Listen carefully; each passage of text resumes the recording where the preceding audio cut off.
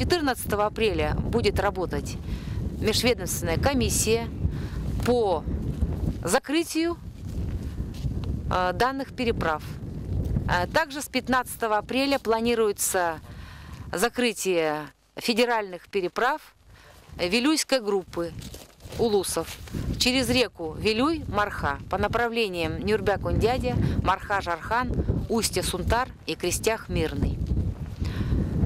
Сожалению, на Дальнем Востоке уже есть трагические случаи провалов и гибели людей.